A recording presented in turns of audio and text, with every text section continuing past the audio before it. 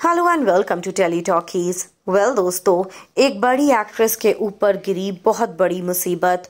माता पिता दोनों ही कोरोना वायरस पॉजिटिव हुए और अब दोनों की हालत है काफ़ी गंभीर।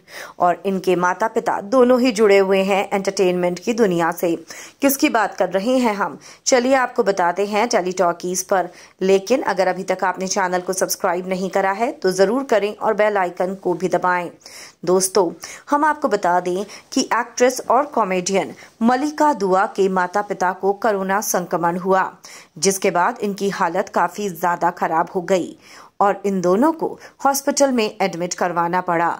मलिका के पिता एक सीनियर जर्नलिस्ट हैं।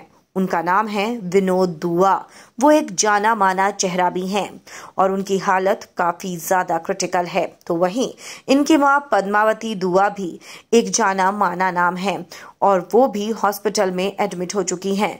मलिका ने इस बात की जानकारी अपने इंस्टाग्राम अकाउंट पर दी और उन्होंने बताया कि घर के बाकी सदस्यों का भी उन्होंने टेस्ट करवाया है और सबसे गुजारिश की है कि ठीक होने की प्रार्थना करें और अपनी दुआओं में पापा को ज़रूर याद रखें। हम आपको बता दें कि मलिका दुआ की माँ ने अपने सोशल मीडिया पर लिखा कि 13 मई से एक दो दिन पहले उन्हें सांस लेने में दिक्कत हुई, जिसके बाद डॉक्टर ने उनकी आवाज़ सुनी और बताया कि वो सिटीकॉन स्ट्रॉम का शिकार हुई हैं, जिस पर ध्यान देने की काफ़ी ज़रूरत है।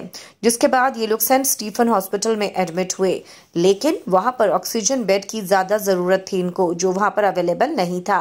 जिसके बाद इन्हें गुड़गांव में स्थित मेदांता हॉस्पिटल में एडमिट करवाया गया।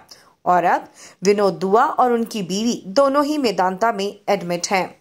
उम्मीद है कि जल्द दोनों ठीक हो जाएँगे। लेकिन आप सभी से गुजारिश है कि आप विनोद दुआ और उनकी पत्नी के जल्द ठीक होने की कामना ज़रूर करें।